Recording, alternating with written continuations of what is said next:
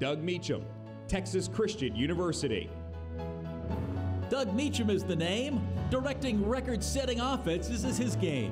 Jacksonville State, Henderson State, Samford, Houston, and this past season, TCU. In this, his first season at TCU, Doug Meacham orchestrated the most dramatic offensive turnaround in Big 12 history. Last season, TCU averaged 25 points a game. This season, Meacham's Horned Frog offense is scoring just under 46 points a game. And these numbers are crazy.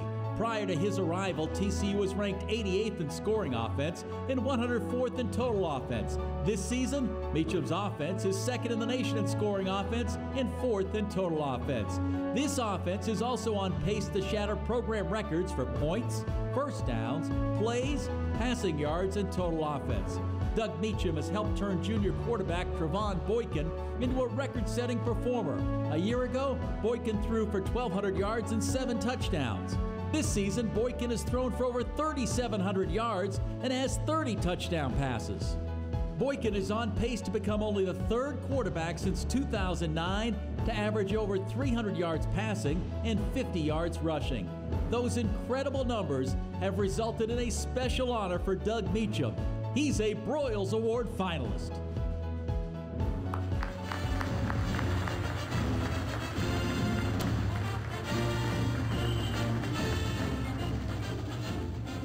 Okay, first of all, I want to clarify something. I didn't block very much at all for those two running backs. I just kind of knew the snap count. I got out of the way. All right. And uh, secondly, um, it's kind of embarrassing. In fact, I kind of keep it a secret that I played offensive line. I usually let the person guess what I played, and I just agree with them. Okay, because I know looking at me right now, Coach Jones is probably embarrassed at how I look, because I don't look like an offensive lineman at all. So I understand. Just wanted to start off by saying thank you very much uh, for the selection committee, uh, for uh, Delta uh, Dental, also the Rotary Club of Little Rock, um, Coach Broyles, everybody involved, the support staff that puts this together, the people that's been with us the last 24 hours have done a phenomenal job being with us and, and taking care of us and pointing us in the right direction because we are football coaches. We get lost real easy, just like the taxi cab scenario. But um, also want to thank my wife, Kendall. Um, she's the rock of the family, just like uh, we had uh, talked about earlier with some of the other coaches. She allows me to go to the office every, every day and be a middle-aged uh, adolescent and hang out and have fun with a bunch of kids while she's working, taking the kids to school, fixing lunches, doctor, practices. You know, we have two boys at home that both play sports. She's on the road. Uh, in fact, she drives my dealer car. Don't tell anybody, okay? But I have to turn that thing in really, really quick every 5,000 miles. It doesn't take long to do it. So, but she does an unbelievable job. Thank you for everything you do to allow us to do this. Um, my kids, you know, and it's it's so much fun and so gratifying to me to have my children go uh, through this with us and to uh, watch them grow and be at the games and uh, watch your, your son, you know, I have a, an eighth grade son that comes out in pre-practice and, and plays catch in front of the student body and they're cheering for him. I mean, it just, those are the memories you look back on in life and, and, and for him and myself that you, you'll cherish forever. When you're in the fourth quarter of your life and you're looking back, those are the type of things that you remember. And this profession allows you to have the ability to enjoy those moments. Um, so I appreciate my children for keeping me grounded and um, the next thing is just, you know, in terms of me personally, um, my last year we played in the Sun Bowl. Uh, I had no idea what I was going to do with myself occupationally. It was me and my roommate, Robert Nunn, who is now the defensive line coach for the uh, Giants. We're sitting in the hotel bar. And uh, Glenn Wolf walks up. He's a head coach at Northeastern Oklahoma Junior College in Miami, Oklahoma.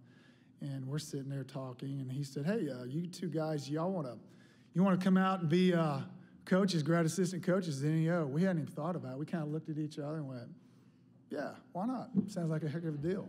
What do we got? You know, free place to live, food. Heck yeah, let's keep the scholarship thing going, you know. So we did that. So I'm excited. I'm very excited. I've made my choice. I'm going to be a ball coach. Now I know what I'm going to do.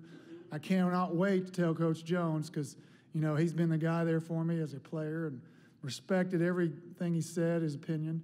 So um, I go to Coach Jones. I say, Coach, uh, I know what I'm going to do with myself. I, I want to tell you, I want your advice. He goes, What is it, uh, Meach? I said, Well, I'm going to be a football coach, and I'm expecting this, you know, pep rally in his office. This, oh my gosh, it's, and that's not what I got at all. I got, Are you sure that's what you want to do with your life?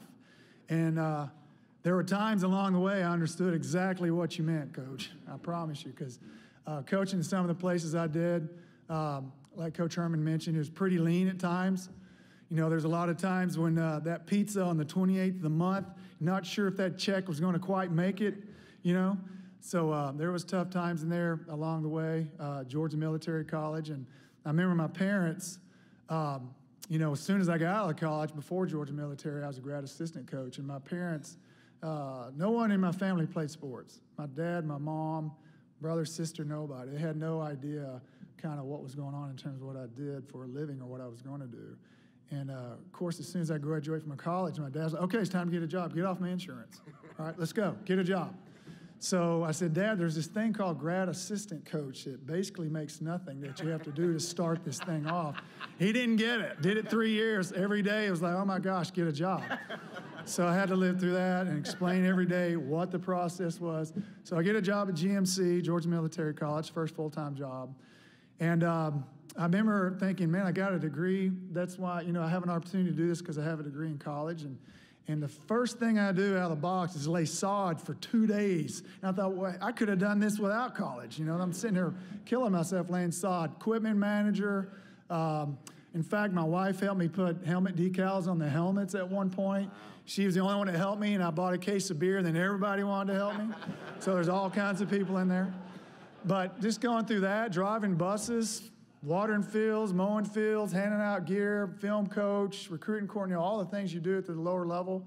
Um, really, throughout my career, and you know, particularly in the last few years, looking back on those moments, uh, I cherish every bit of it because it's helped me along the way. Be grateful for the opportunity I have now at TCU and the opportunity I've had at Oklahoma State and Houston and some of the other places I've been, and the the the ability to be around some of the the people I've been around. You know, Boone Pickens, uh, been around Dana Holgorsen, Mike Leach, um, uh, Larry Fedora, um, a lot of guys, Todd Monken, that's kind of helped develop me in terms of what my philosophies are mentally, uh, offensively, and my philosophies are as a coach, and uh, Coach Jones as well.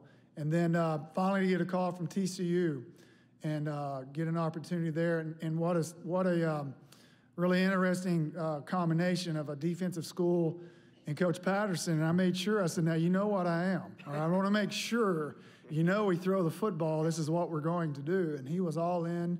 And so it was really interesting integrating a, from a defensive school, integrating an offensive philosophy that was more pass oriented and how we developed the practice routine and how we did it was really fun uh, with him and uh, Chris Del Conte, the athletic director. Those guys have been phenomenal to me, and I uh, appreciate the opportunity, and um, just very grateful. And um, I just thank thank you for the opportunity to stand up here in front of you, and um, that's that's it. Thank you.